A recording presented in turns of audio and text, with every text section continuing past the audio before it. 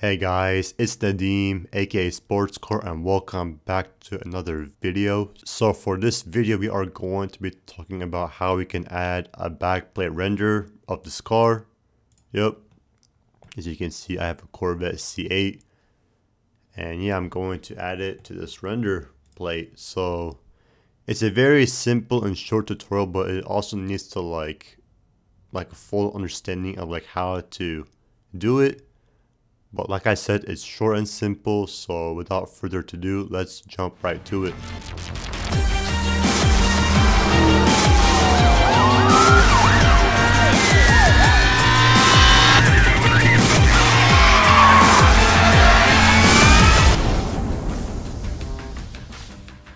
So here we are in a new project. Let's just select hit A and delete everything.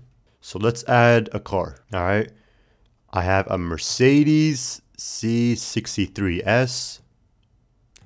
So let's go ahead and start adding a camera. There we go, just pos position it like anywhere really.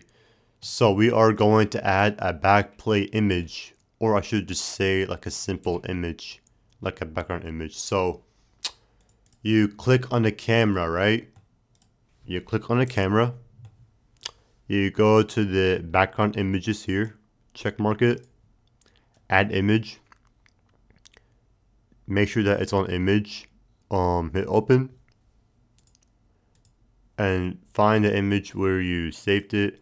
It will be the link in the description so you guys can check it out. Alright and let's go to the render viewport.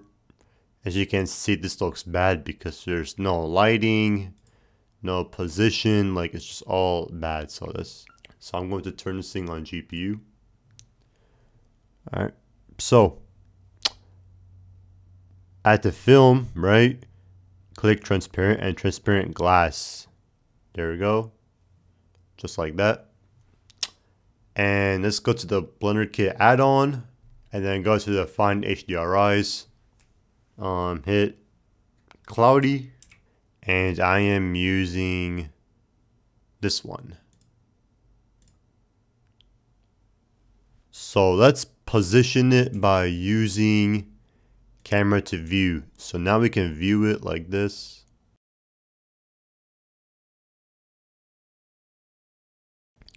And so this photo, right, this looks like for the focal length, I would say at 40 depending on your photo, but 40 seems like a pretty standard to me. So let's see.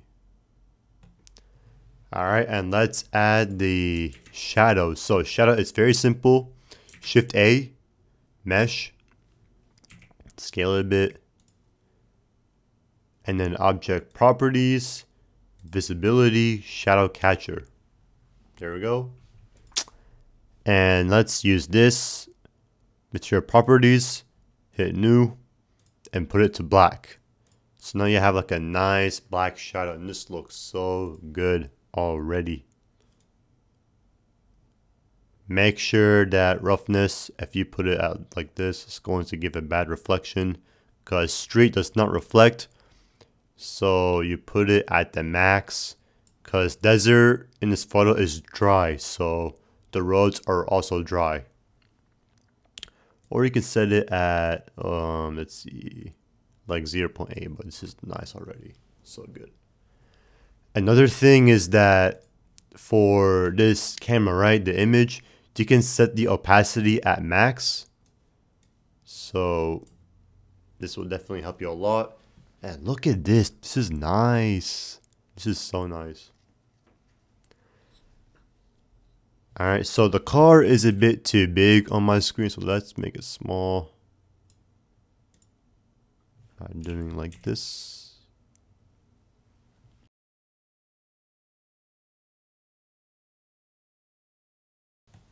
Alright, there's something like this.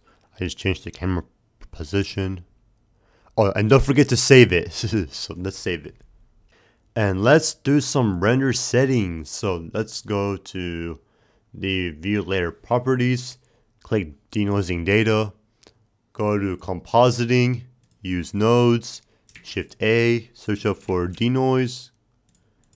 So noisy image to image, denoising normal to normal, albedo to albedo. So yeah. And color management, put it at standard.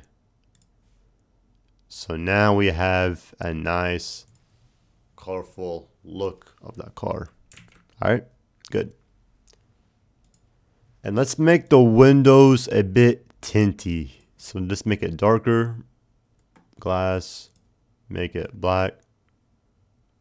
There we go, just like that. Perfect. And the render settings, again, I will put it at, let's see, maximum samples. Um, let's put it at 100. Here we go. Perfect. And let's render. All right, now we have a car with a transparent background. So let's go to image, save it to your desktop or anywhere really. All right. Now we go to Photoshop.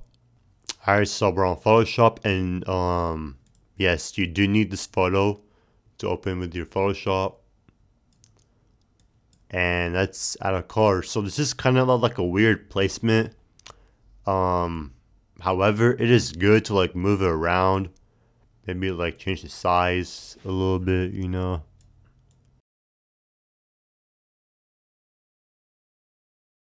Let's go to filter, camera raw filter. Let's just raise the clarity a bit, just like that. Raise the texture and kind of dehaze it a bit. There we go. That is so good. And that's pretty much it, guys. I hope that you guys enjoyed it. If you guys have like any questions, you guys are welcome to message me on my Instagram, which will be linked in the description, so you guys can check it out. Um, and yeah, guys, that's pretty much it. So if you guys have like any ideas for the next YouTube tutorial, let me know or message me on my Instagram. And yeah, guys, peace out.